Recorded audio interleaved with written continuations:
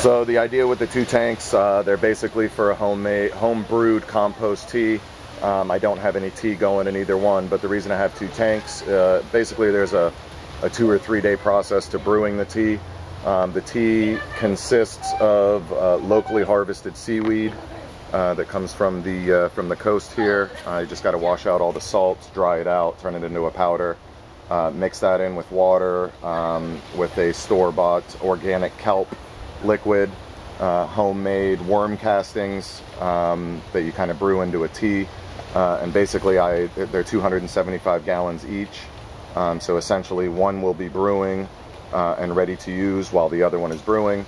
Um, and all I basically do is when the irrigation is shut off, open the uh, valve on the tank, uh, which drains 275 gallons of nutrients into all the lines. And then I turn on the irrigation, which is coming out of a well.